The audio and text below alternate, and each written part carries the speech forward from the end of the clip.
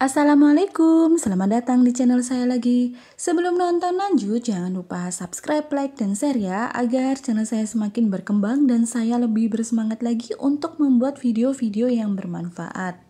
Dan jangan lupa nyalakan tanda notifikasinya agar teman-teman tidak ketinggalan dengan video-video saya yang terbaru. Dan jangan lupa follow juga Instagram dan Facebook dan Shopee Lapak Bu Cahyo. Terima kasih. Saya juga jualan pisang keju dan jamur crispy. Bagi teman-teman yang ada di area Sedati Sidoarjo dan Waru Sidoarjo, monggo mampir di pisang keju jamur crispy Lapak Bu Cahyo. Tersedia di GoFood, GrabFood, Shopee Food, dan Traveloka Eat ya. Ditunggu orderannya ya teman-teman. Jangan jangan lupa.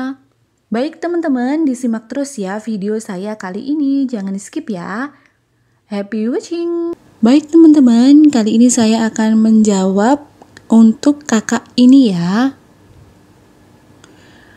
Nah baik teman-teman, kali ini saya akan infokan tutorial cara untuk melihat ID Store Resto Shopee Food kita ya teman-teman ya.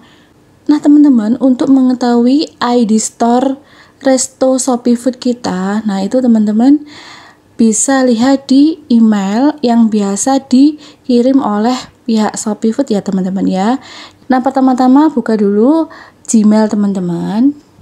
Nah, lalu teman-teman muncul tampilan seperti ini. Nah, ini ya teman-teman. Jadi di sini ada keterangan no reply dari pihak Shopee Food ya yang telah email ke kita. Kita klik di sebelah sini. Lalu teman-teman kita scroll ke bawah. Lalu muncul tampilan seperti ini. Nah, di sebelah sini kita klik ya, teman-teman. Nah, lalu muncul tampilan seperti ini, lalu kita perbesar ya, teman-teman. Nah, teman-teman, store ID Resto Shopee Food kita bisa dilihat di sebelah sini ya, teman-teman. Nah, gimana teman-teman? Cukup gampang kan caranya?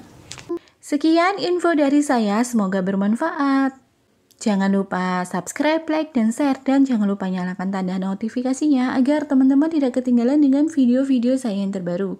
Sampai jumpa di video saya selanjutnya. Insya Allah. Wassalamualaikum warahmatullahi wabarakatuh.